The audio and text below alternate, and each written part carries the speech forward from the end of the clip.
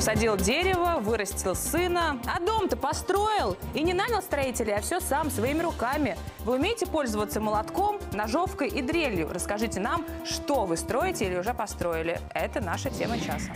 Такси заказывали? Ну, полетели. Будущее пассажирских перевозок в Японии. Миниатюрный мобильный телефон и уникальная возможность сочинять музыку без музыкального образования. Об этом в рубрике «Технологии». Оладьи бывают разные, ну, как и девушки. Например, на кефире. Чем они отличаются от других и как их готовить, знает шеф-кондитер из Петербурга. Не пропустите нашу рубрику «Блюдо дня». Это ты как так, э, девушка?